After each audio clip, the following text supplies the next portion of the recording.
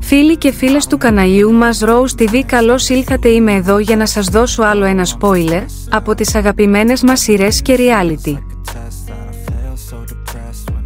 Η γη της ελιάς spoiler η Ιουλία έχει καταρρεύσει εντελώς τη σειρά με το θάνατο της ανιψιάς της και σε αυτό το σημείο θα δεχτεί ένα περίεργο τηλεφώνημα το οποίο θα απαλύνει κάπως τον πόνο της.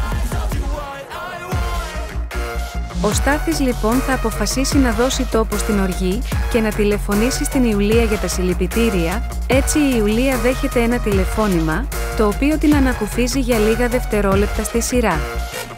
Πίσω στη γραμμή είναι ο Στάθης ο οποίος τη ρωτάει αν είναι καλά και αν χρειάζεται βοήθεια. Εκείνη του απαντά γλυκά, πως είναι εντάξει και πως θα προσπαθήσει να σταθεί στα πόδια της όσο μπορεί. Κανείς όμως δεν είναι σε θέση να την παρηγορήσει, ούτε ο Στάθης. Η Ιουλία είναι σε πολύ κακή ψυχολογική κατάσταση και κανείς δεν μπορεί να την βοηθήσει, όντως όμως, αυτό το τηλεφώνημα του Στάθη θα είναι μια παρηγοριά για την αγαπημένη μας πρωταγωνίστρια.